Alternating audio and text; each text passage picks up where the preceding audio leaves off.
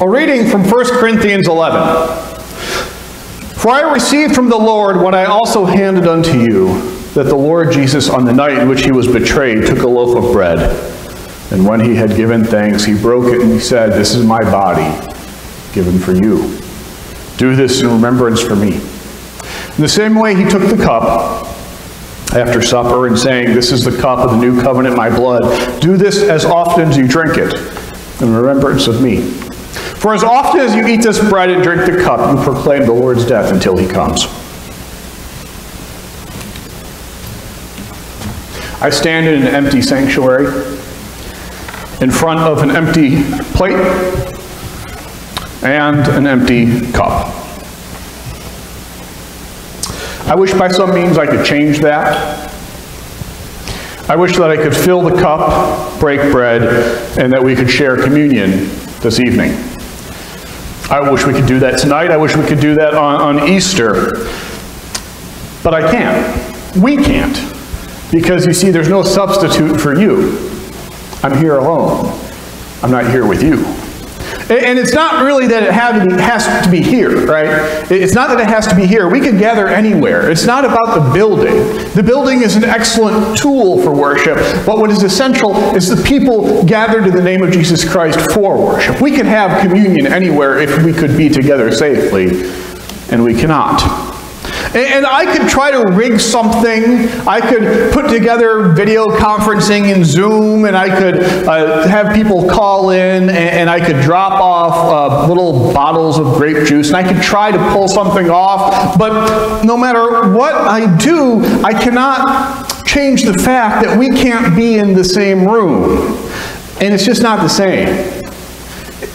There is something essential about being able to hug somebody about being able to sit next to someone, about being able to shake hands, about being able to sing together, right? There's something about being in the same room that I just can't replicate. It, it just can't be replicated. Because you see, our bodies matter.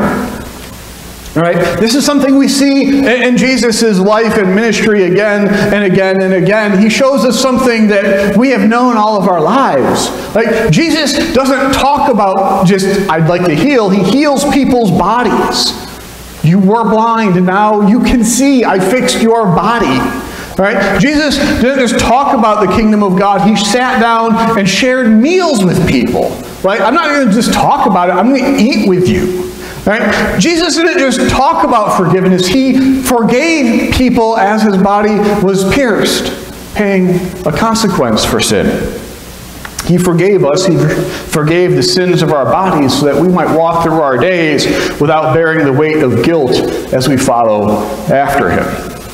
And so, what we see again and again and again in the life of Jesus and in our own lives, that we are not sort of like, we're not detached from our bodies. It's not like there is Andy and Andy happens to inhabit this body. No, this is Andy. There is something essential, body and soul connected together that makes up who I am and makes up who you are. And until we can be together in our bodies, we can't have communion. To put it as concisely as I can, there is no such thing as communion if you don't have commu community gathered.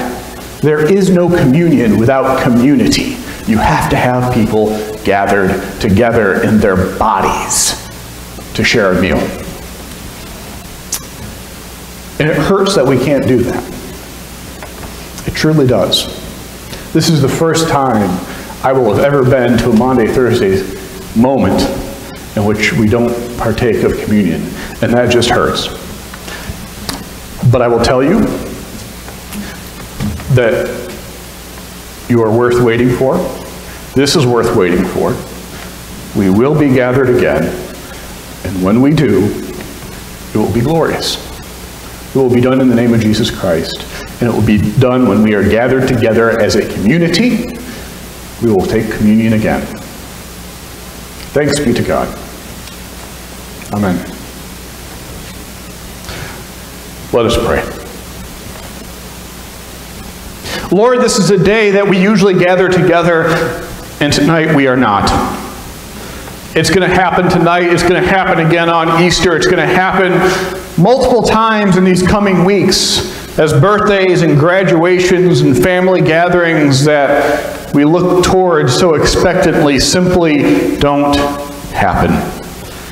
And it hurts. It hurts to be separated.